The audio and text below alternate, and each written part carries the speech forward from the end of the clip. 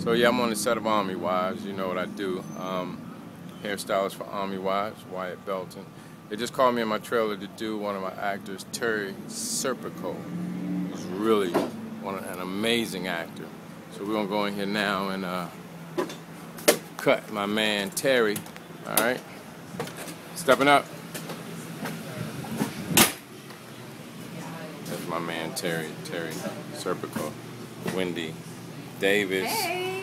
Terry Serpico. You get ready to cut your hair, man. Oh. So we get ready to do this thing. Back.